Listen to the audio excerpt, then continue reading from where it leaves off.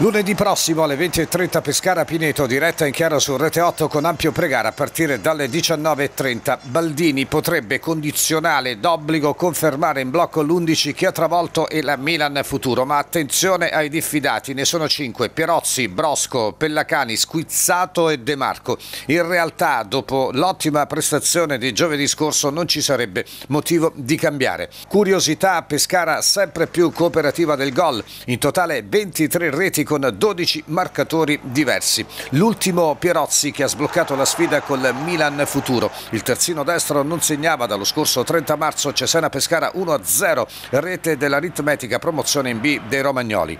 Dato senza dubbio interessante, nel contempo da sottolineare, non spicca il classico bomber, il più prolifico è Ferraris, non certo un titolare con tre reti, ma tutti sono coinvolti. Squadra nel vero senso del termine.